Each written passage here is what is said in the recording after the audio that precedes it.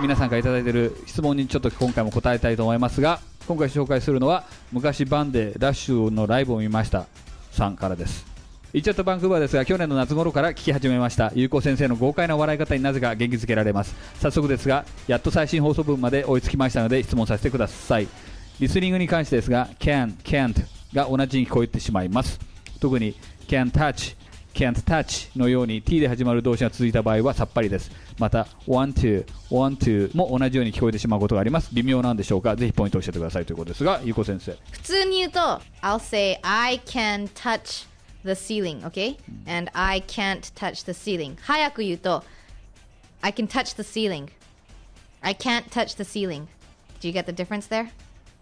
分かったよね早く言うと I can touch だから can って言わないもう K-I-N っていう can I can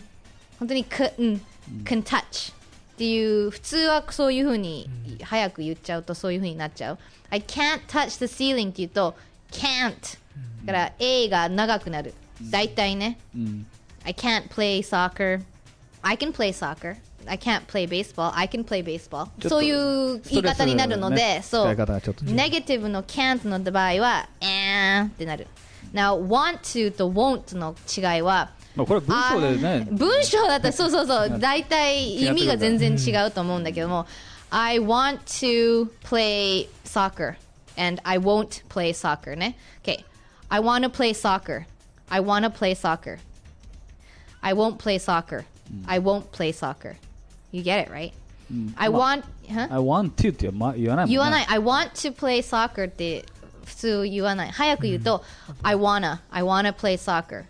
でこれも wanna っていう大げさな言い方じゃなくて本当にもうすぐ早く I wanna I wanna play soccer だから wanna wanna I wanna I wanna play soccer I wanna play soccer という感じでしょ I won't play soccer is I, I won't play soccer I won't won't won't won't っていうかな、うん、カタカナで言うとうに小さいおにうんかな。I won't play I won't play soccer が T は聞こえない、両方 T は聞こえないけれども I wanna wanna はあーが出るのまあ音があるじゃない、然違うもんね。そうでセジュンもこっちに来てナチュラルな英語を聞いてやっとこう聞き慣れてくるようになってきたよね、はい。だからその今私が言ったのは全然問題なしで分かってる、だからそれがやっぱり毎日毎日聞いてるとそれがだんだん分かってくると思うのね、So I just think it's a matter of just listening and practicing. セジンは韓国語英語日本語でいきたからさや三カ国語ね。これから韓国中国とかさどんどんどんどんまた新たなことがもっともっと始まってくるんだろうと思うんだけど、